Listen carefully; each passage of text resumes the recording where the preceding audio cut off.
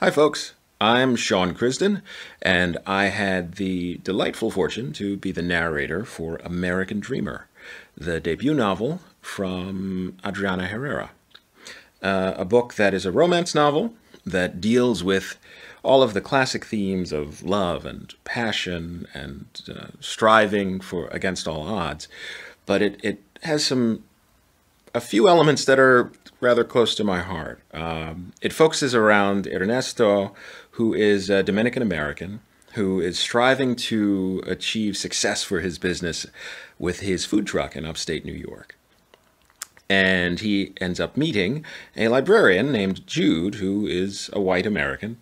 And hijinks ensue.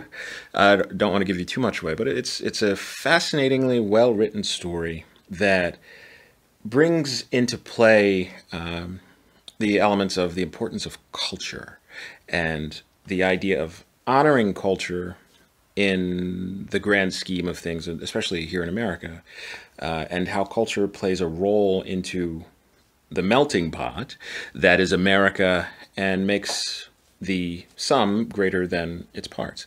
And the experiences that individuals bring, in this case, particularly Latinx individuals, bring to uh, the the canvas that is America.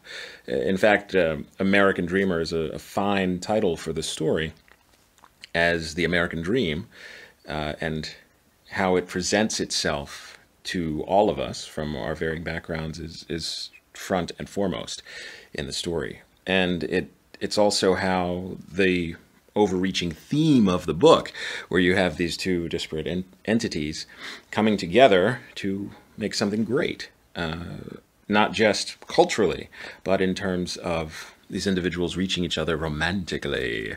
Uh, really, really makes the book work really well. Uh, uh and one word of advice for you do not read the book hungry because Nesto has a food truck and there's food. And if if you've had just Afro Caribbean food, I had the great fortune of being married in Punta Cana and oh boy, and I'm also a former East Coaster, now living in the desert, so I do miss New York and Philadelphia, even the food.